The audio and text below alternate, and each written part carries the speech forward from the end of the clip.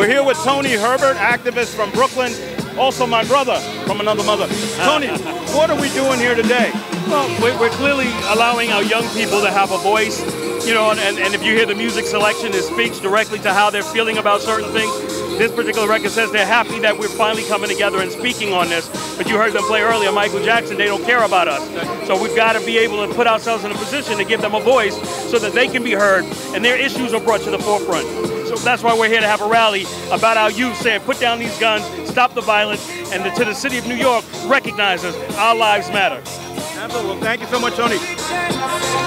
What do you think about all this shooting? It is ridiculous. It's it's like everybody now has a gun, man. Do you have a gun? Because I'm like, this is crazy out here. We need folks to, you know, to understand that guns, guns guns don't kill people. People kill people, but they got access to these weapons of mass destruction, and that's the issue. Absolutely. Well, Tony, don't give up. I'm not going to give up. Our kids need to live. Let's keep fighting. Let's keep moving forward, and I'll see you on the next one. Yes, sir.